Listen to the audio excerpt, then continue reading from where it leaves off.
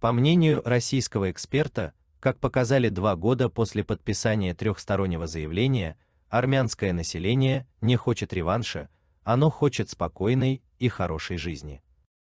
Глава Центра стратегических исследований стран Южного Кавказа Евгений Михайлов рассказал порталу Москва, Баку, что подписанию мирного договора мешают только политические игры.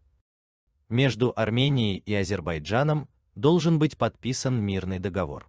Пять принципов, представленных Баку, выглядят конструктивными и логичными. Это первое взаимное признание суверенитета, территориальной целостности, нерушимости международных границ и политической независимости друг друга.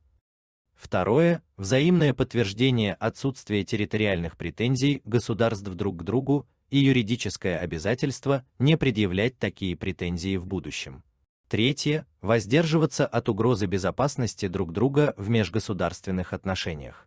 От применения угроз и силы против политической независимости и территориальной целостности, а также от других обстоятельств, не соответствующих уставу ООН. Четвертое делимитация и демаркация государственной границы, установление дипломатических отношений.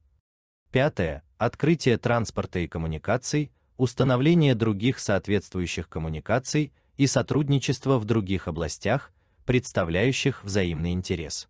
Все логичные, конструктивные шаги по потенциальной нормализации отношений между Азербайджаном и Арменией в данных принципах зафиксированы.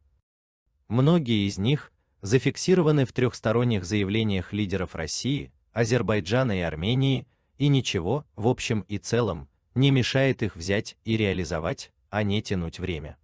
Потому что реваншистские настроения внутри Армении, на которые многие ссылаются. Когда говорят о том, почему Пашинян не хочет реализовывать трехстороннее заявление, скорее политический ход заинтересованных сил в армянской диаспоре за рубежом потому что, как показали два года после подписания трехстороннего заявления, армянское население не хочет реванша, оно хочет спокойной и хорошей жизни.